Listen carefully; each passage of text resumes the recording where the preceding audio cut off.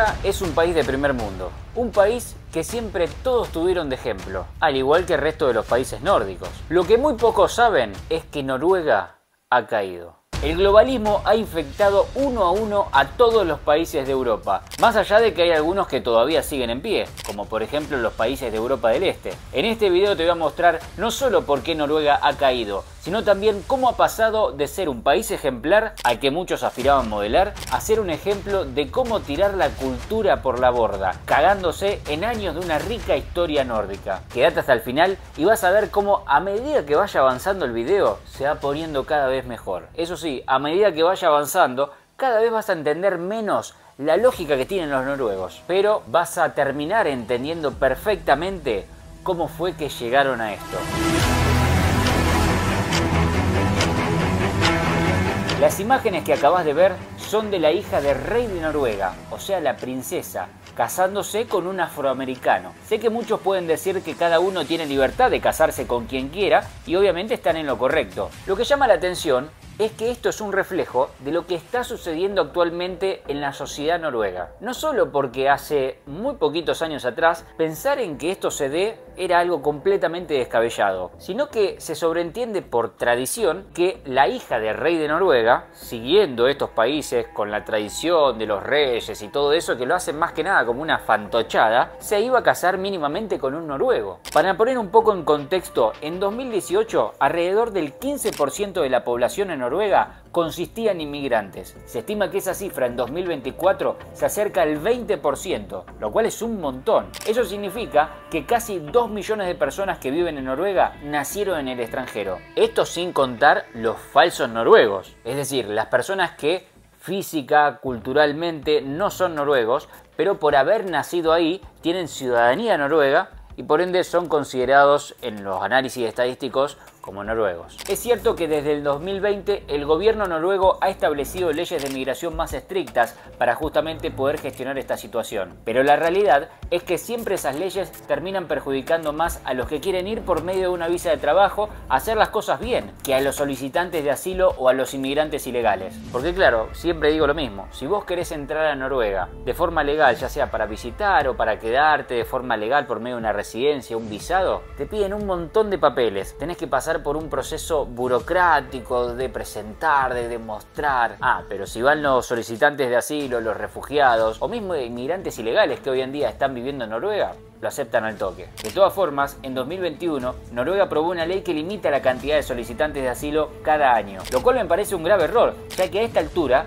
Noruega no está en condiciones de aceptar un solicitante de asilo más. Esto quiere decir que se siguen aceptando, solo que en menor medida. Ni hablar de lo que siempre decimos que sucede en todos los países que han caído en el progresismo. Los inmigrantes ilegales o los nuevos locales, que no deberían ser considerados locales, pero tienen ciudadanía europea, se están reproduciendo a un nivel masivo, mientras que los progres de los noruegos se están reproduciendo a un nivel mucho más reducido. Y más allá de que uno a veces ve por las noticias que se están incrementando las deportaciones. Yo los invito a todos los que vean este video a que si pueden se den una vuelta por Noruega y lo vean con sus propios ojos. Que ahí no hay estadística, no hay informe, no hay noticia que pueda contradecir lo que uno ve caminando por las calles viendo con tus propios ojos la experiencia personal. Eso no es manipulable. Y a esto lo puedo decir con propiedad porque este mismo año que estoy grabando el video, hace meses atrás, yo mismo estuve ahí caminando por las calles de Noruega. Tuve la experiencia de visitar su capital, Oslo, como también al llegar llegamos a una ciudad en los alrededores y también vimos que se repetía una y otra vez esta constante. Es increíble la cantidad de inmigrantes que se ven. La mejor forma de describírtelo sería,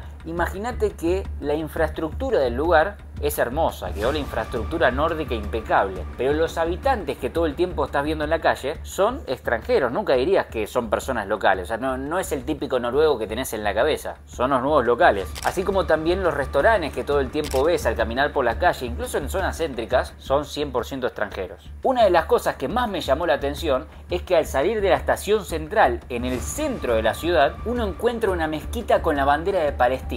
Dos cosas que no se deberían ver, ni una mezquita ni una bandera de Palestina. Estamos ante un cambio en la historia de la humanidad, porque esto hoy en día nos está sorprendiendo. Va, a mí me sigue sorprendiendo, porque incluso a esta altura hay una cantidad enorme de progres que no solo que normalizan, sino diría defienden el hecho de que personas de Medio Oriente o africanos sean considerados noruegos. Esto va a marcar un antes y un después en la historia de la humanidad, porque cada vez más esto se está normalizando. Siempre menciono que lo veo mucho en las selecciones de fútbol, y tiene sentido. Así como se viene un mundo negro y musulmán, se vienen selecciones conformadas en su mayoría por este tipo de personas. Y antes que se le rompa el cristal a algún progre que quizás es el primer video que está viendo mío, siempre aclaro que yo no tengo absolutamente nada en contra de esta gente.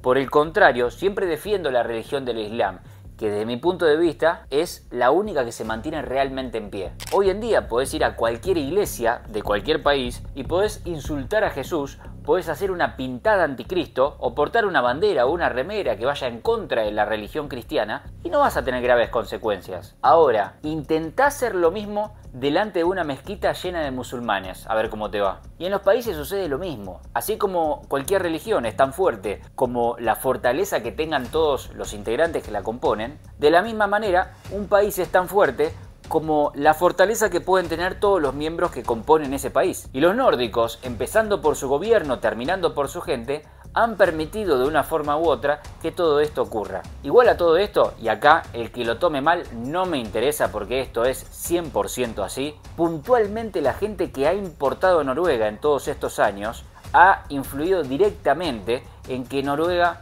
hoy en día esté como esté y que haya dañado completamente su calidad de vida. Por mostrarte algo y que no quede simplemente en mi opinión, te voy a mostrar un video que sucedió en Bergen, o Bergen, como le quieras decir, la segunda ciudad más popular de Noruega. Mira.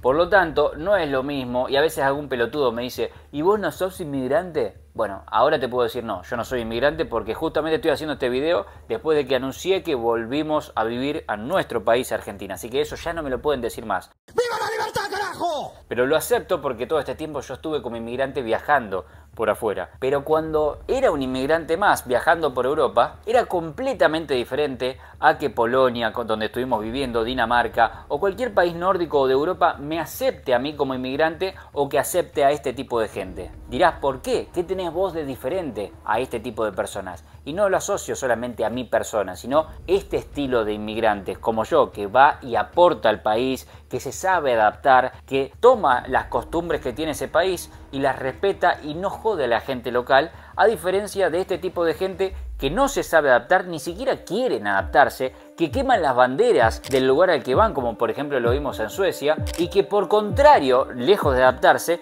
quieren imponer su cultura, su costumbre, su religión a un lugar que claramente está configurado de otra manera completamente diferente.